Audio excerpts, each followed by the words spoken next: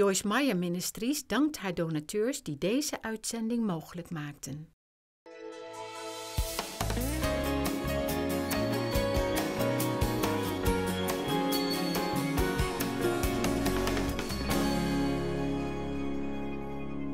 What is hope? Why would we take a whole entire conference, especially the 30th anniversary with these many thousands of women, and just talk about a subject as simple as hope?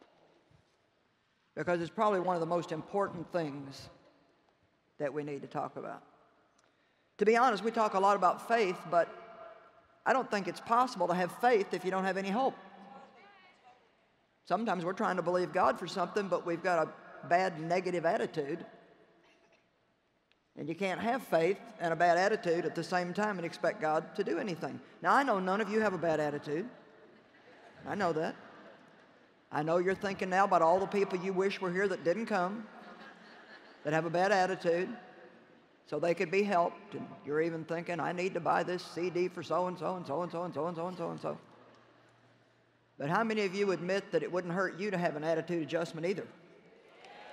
Amen? Now, I've come a long way, and I don't have a bad attitude very often anymore, but every once in a while I get one. And when I do, I have to do the same things that I'm telling you to do. What is hope? Well, I hope for this, I hope for that, I hope it don't rain, I hope, I hope, I hope. Hope is not just kind of this wishy washy, vague, well, I wonder if it'll happen, but I don't know if it will, and I guess we'll just kind of case, sirrah, sirrah wait and see. That may be a worldly kind of hope, but that's not Bible hope. Bible hope is extremely powerful. It's a favorable and a confident expectation. I want to say to you, what are you expecting God to do in your life? I don't know. Just kind of waiting to see.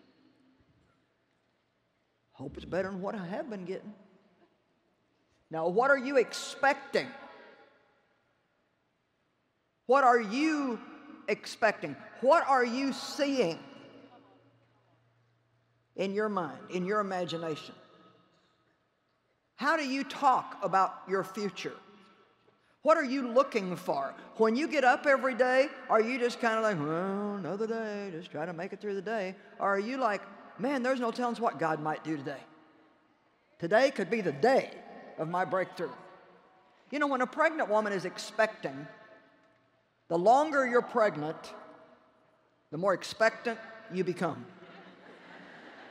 And so some of you may be saying, Well, I've been believing God for the same thing for 20 years. Well, then I tell you what, you ought to be just about ready to pop with expectation. I carried all my children over their due date the doctor said that I was the only woman he knew that stayed pregnant as long as an elephant. My first child was four weeks late. Yeah, the second one was five and a half weeks late. The third one was three and a half weeks late. And the last one was almost five weeks late. And he lacked one ounce weighing 10 pounds. I was really ready to get him out. And I'm telling you what, every day I woke up, this has got to be the day.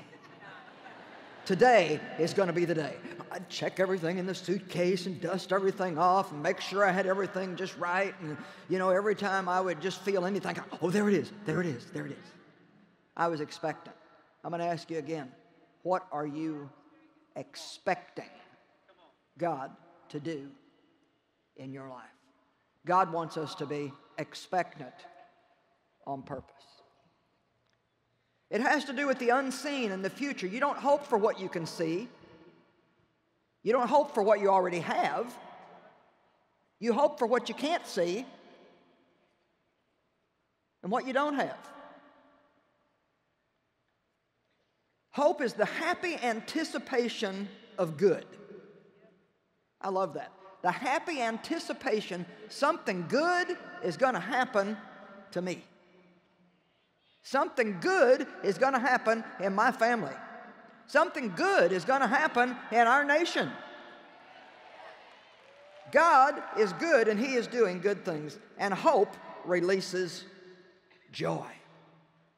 Hope is very simply a positive attitude, a positive mindset. Now, if I can stand here and say to you, have a positive attitude, coming from where I came from, and seeing what God has done in my attitude, then I'm here to tell you that no matter how, how many negative things you've had happen in your life, no matter how negative your mind by, might be right now, you can have a change of mind and a change of attitude, and you can become so positive that you won't even hardly recognize yourself.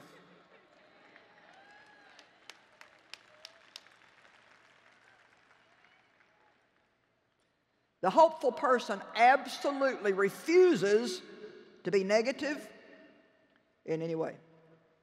Although they recognize and deal with the storms of life, they remain hopeful in thought, attitude, and conversation. and conversation. So often we say we're praying for this or we're hoping for that. And if you listen to the way we talk, we sure don't sound like we're hoping for any change. We can't be saying that we're in faith for God to do this and then talking about it like it's never going to change. Now, here comes something for you to do. We always like to have something to do, right?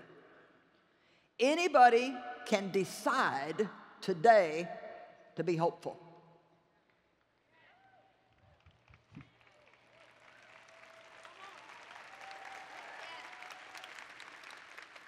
You don't have to wait for a special feeling. We live way too much based on our feelings. Well, Joyce, you just don't know how I feel. Well, can I tell you something? You don't know how I feel. right now, my contact lens is aggravating the living daylights out of me. and I got to stand here and preach to you anyway and not bat my eyes all day for the TV cameras. You don't, nobody knows how anybody else feels, but we can't live by how we feel and the more we cater to our feelings, the more they're going to increase. Because when we give in to them, we feed them and make them stronger. But if we don't give in to them, we starve them, and pretty soon they lose their power over us. Your feelings will catch up with your decisions. Now, let me just say from the outset we can't do anything without God. That's already a foregone conclusion for me. The first thing that I say every morning is God, apart from you, I can do nothing. And most mornings I slip out of bed and I get down on my knees by my bed and I say, God, I'm here just to simply say that I can't do anything without you. I am nothing without you. So when I say to you, you need to do this, you need to do that, you need to decide, I'm just trying to provoke you to, to line your will up with the will of God and to make the God inspired, Holy Spirit filled effort that God wants you to make. But I want to make it clear that you cannot do it on your own. We cannot do anything apart from God, but we are partners with God. I love what Reinhard Bonnke says God needs manpower, and we need God power. And that's the truth. God needs you. And He needs me, and He needs us with a good attitude. He needs us full of hope and confidence and faith that all things are possible with God. Anybody can decide to be hopeful. Well, Joyce, you just don't know what's happened in my life. No matter what has happened in your life, you can start turning things around today if you'll make a decision today. That's it. I'm done being negative. I'm done talking negative. I'm not thinking negative. I'm not going to imagine negative things. I am going, with God's help, to have a good attitude. But I'm here to tell you there is no promise of God that's going to manifest in our lives if we keep a negative attitude and a negative mouth. I'm preaching better than you're acting, by the way.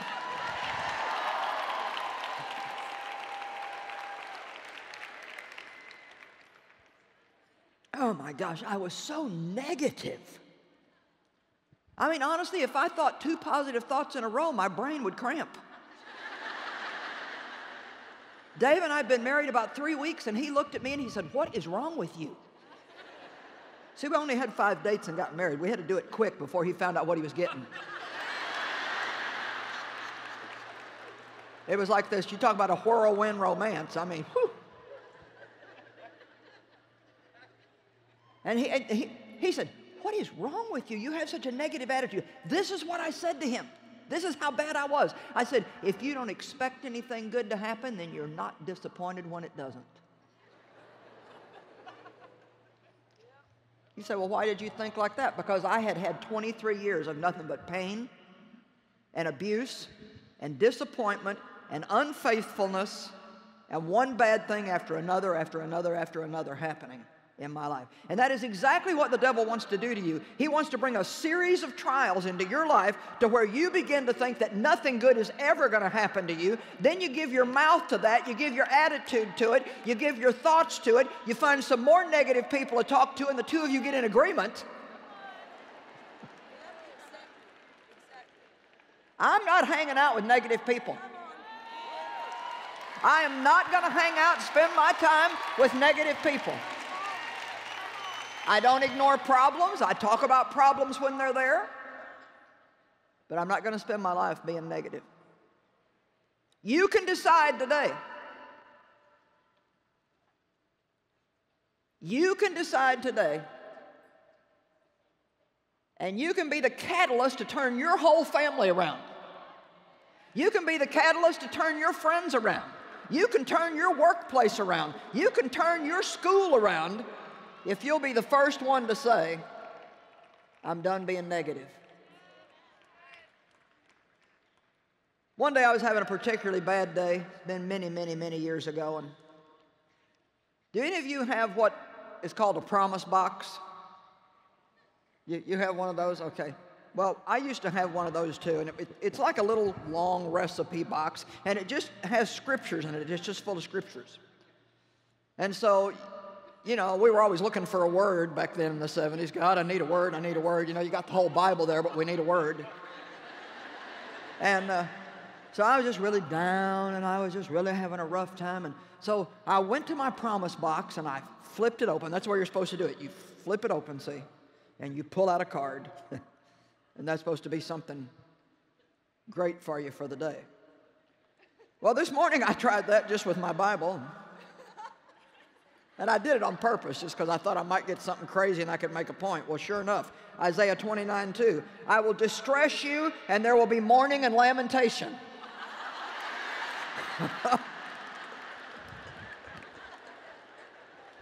One time I got, Woe be unto you, you wicked sinner. I thought, Ooh, I, I need another choice here. But that particular day, I got Romans 15 13. Let's take a look at that scripture. And it definitely was a word from God for me. May the God of your hope, God is not the God of our hopelessness. He can't do anything for you if you're hopeless. And you can be hopeful on purpose. You don't have to wait to feel it. You can say, God is doing something good in my life. May the God of your hope so fill you with all joy and peace in believing. Believing is everything. What do you believe? Through the experience of your faith, that the power of the Holy Spirit may abound and be overflowing, bubbling over with hope. Now let's back that up and look at this again. I want to show you something. The God of your hope, this doesn't happen if you're hopeless, fill you with joy and peace in believing and having that positive attitude, something good is going to happen. You say, Well, I believed that yesterday, nothing good happened. Well, kick the devil right in the teeth and say, I'm going to believe it again today and tomorrow and the next day and the next day and the next day and the next day. Keep on believing. Believing is not something we try, it's the way we live. Through the experience of your faith, and I love this, you want to release the power of the Holy Ghost in your life? Get a God attitude through the power of the Holy Spirit. I'm all done with weak, pitiful, pathetic, puny living. I want some power in my life. Amen? God is the author of hope, not hopelessness. The devil authors hopelessness. Doubt and negativity steal hope. When you feel hopeless or down in any way, you must have a resurrection of believing. And when you do, hope will immediately set you free. Although we cannot prevent negative feelings from showing up, we can drive them away through having right thoughts, attitudes, conversation, and action. Let's look at Romans 12, 10 through 13. Love one another with brotherly affection as members of one family, giving precedence and showing honor to one another. Let me just throw this out for good measure. Loving people just really makes you happy. if you're not happy, I can tell you how to fix it. Get your mind off yourself, go do something for somebody else. I just saved you thousands of dollars in counseling. I said, if you're not happy, hallelujah, just go do something good for somebody else. You'll start feeling different. Back to Romans. Never lag in zeal. I love this. Never lag in zeal and in earnest endeavor be aglow and burning with the Spirit, serving the Lord. Guess what? Christians are supposed to be excited. We are supposed to be excited, but I don't feel excited. Well, get your mind off your problems, get your mind off what you don't have, start talking about something positive, start doing something for somebody else. I'm giving you an action plan, honey. Well, you don't know who I'm married to, and you don't know the problems I have, and you don't know, and you don't know. You know what?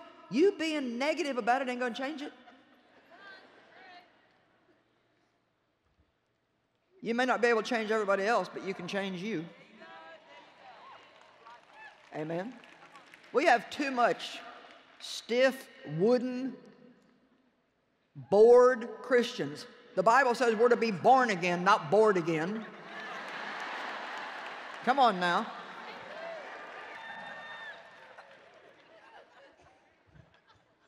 I'm so bored.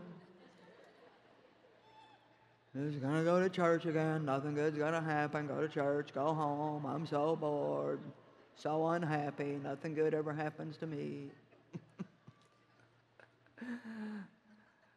we need some zeal, some joy, some enthusiasm, some excitement, some smiling, some fire. Okay, but now listen to me. You know what? It's not hard in here. I don't even have to work hard to get you guys stirred up. I can say about anything and you'll go, yeah.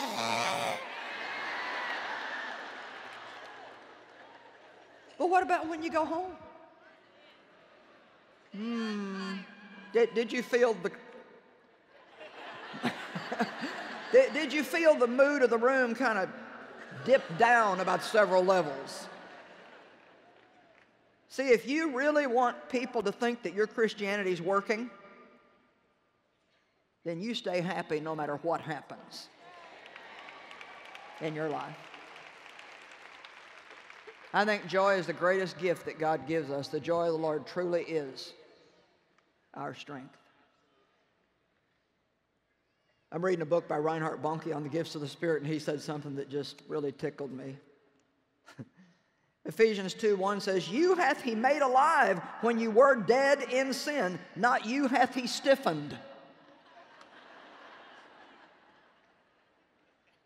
Too many Christians are just stiff with religion.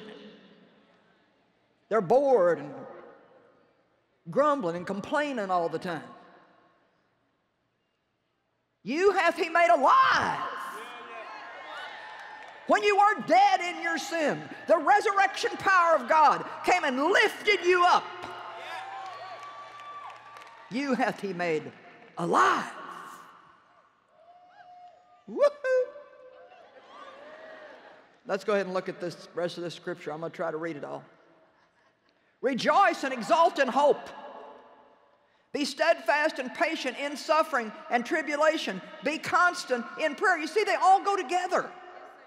You can be patient and not quit and not give up if you'll keep rejoicing in hope. Contribute to the needs of God's people, sharing in the necessities of the saints. Pursue the practice of hospitality. You see how all this goes together? You stay busy helping people. You may have to persevere and be patient as you go through things, but if you rejoice in hope and keep helping people and you just stay hopeful and you keep helping people, there is no devil in hell that can keep you from having what God wants you to have if you'll do that.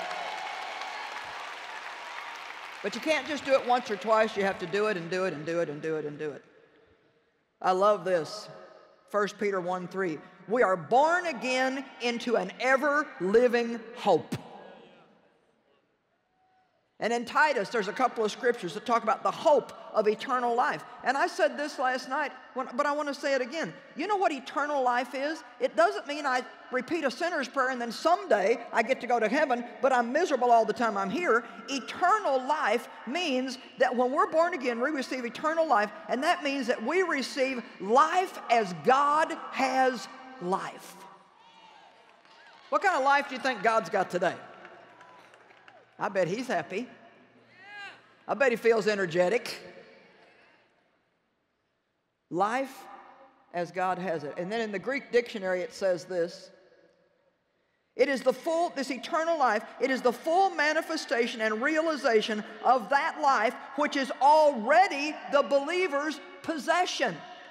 Now, see, this means something to me because I'm a teacher of the Word, and my whole goal is to help believers understand what is already theirs in Christ and appropriate it in their everyday life and live the life that Jesus died for them to have.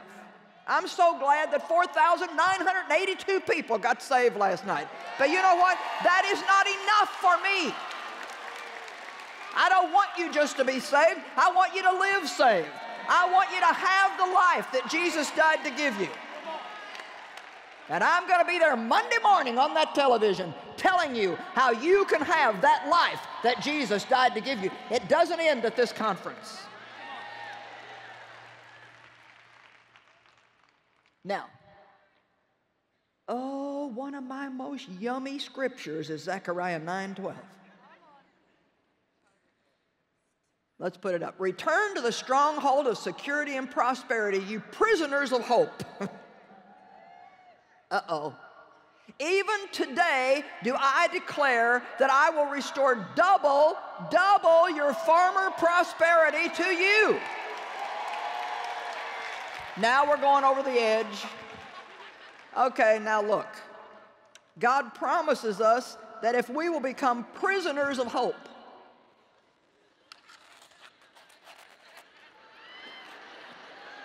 You know what that means? I'm locked up in hope. I can't get away from it. I can't get out of it. Hope. Hope. Hope. Hope. Hope. Everywhere I look, hope, hope, hope. When you do that, the devil does not know what to do to you. Now listen, the devil will attack us. He'll come against us. He'll come with negative thoughts and trying to tell us that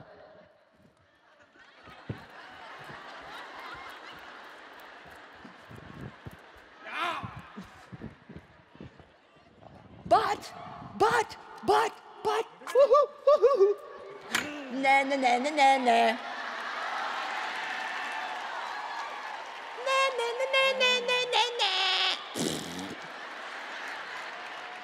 He can't get to us as long as we remain prisoners of hope. Amen.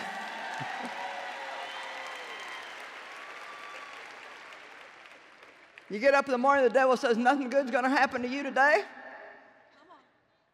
You've already been waiting 25 years, it ain't going to change. Listen, I had migraine headaches 10 years. I don't have migraine headaches anymore.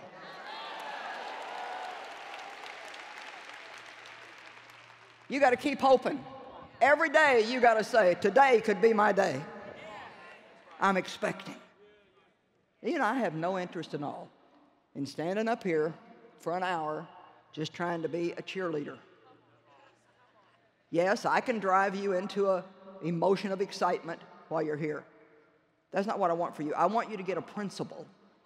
I want you to get an understanding of something that this is something you can take home with you. And when you know how to have this godly attitude and stay full of hope, I am telling you, there is no devil in hell that can defeat you.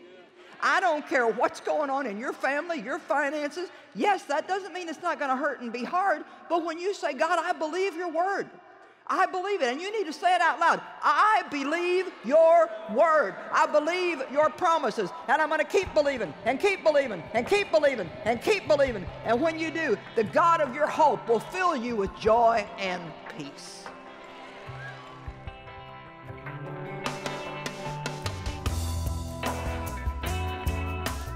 You know, many people feel hopeless about their lives and their circumstances, but the Bible teaches us that God is the author of hope.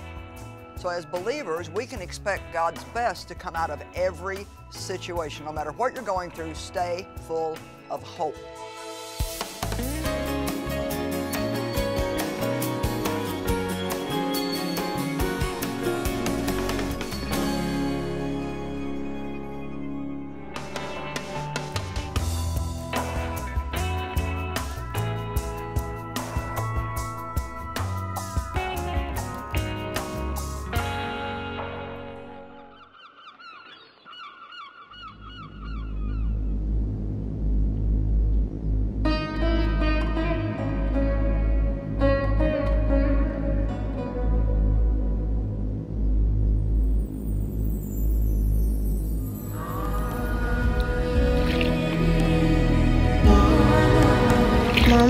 వెనకాల రోజు నేను వాగు దగ్గర నీళ్ళు తాగడానికి వెళ్తుండే. అందరిలా బడికి వెళ్ళి చదువుకోవాలనుకుంటే కానీ పోతుండే. అందుకే అందరిలా నాకు ఫ్రెండ్స్ లేరు.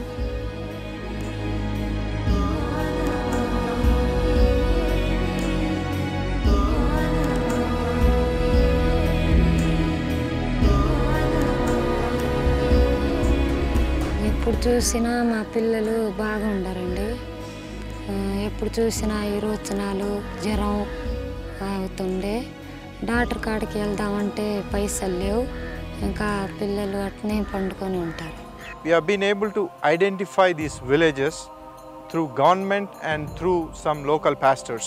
So these wells, what we are drilling through Joyce Meyer Ministries, you know, we take proper care to find where is the good water through a good water diviner. It will take about uh, three days to go to that village and drill the bore well to give fresh water to the villagers.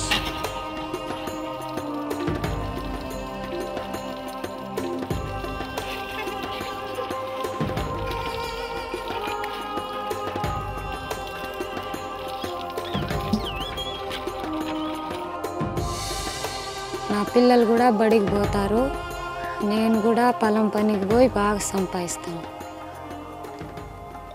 ఈ గ్రామంలో bore వేయించడం ద్వారా ఇక్కడ ఉన్న వాళ్ళందరి జీవితంలో ఎంతో మార్పు వచ్చింది. ఇక్కడ ఉన్న వాళ్ళందరి అవసరాలు తీరుతున్నాయి కాబట్టి యేసుప్రభు దేవుణ్ణి తెలుసుకొని సంఘంలో సభ్యులుగా చేరడానికి ఎంతో ఆరాటపడుతున్నారు. మాకు ఇక్కడ ఒక బోర్ వేపించి మా ఆత్మీయ దాహాన్ని తీరుస్తున్నారు. మేము పాస్టర్ ద్వారా ఆ నిజమైన దేవుణ్ణి తెలుసుకొని ఈ సంఘంలో ఆ యేసు ప్రభుని ఆరాధిస్తున్నాం.